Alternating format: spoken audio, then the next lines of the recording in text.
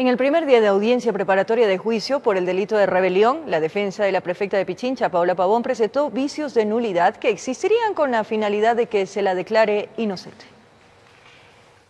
Fue por los hechos violentos registrados en las protestas de octubre que la prefecta de Pichincha, Paola Pavón, el ex asambleísta Virgilio Hernández y su ex asesor Cristian González hoy son sentados en el banquillo de los acusados por el delito de rebelión.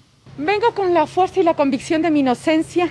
Espero que eh, haya justicia, que haya una justicia sin presión política, que haya una justicia que actúe en el marco de la Constitución, del Código Integral Penal. El sobreseimiento creen que es lo más adecuado.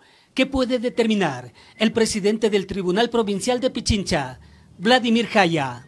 Ahora el fiscal tendrá que sustentar esas acusaciones y yo creo que quedará evidenciado que esto solo es un montaje político para buscar acallarnos.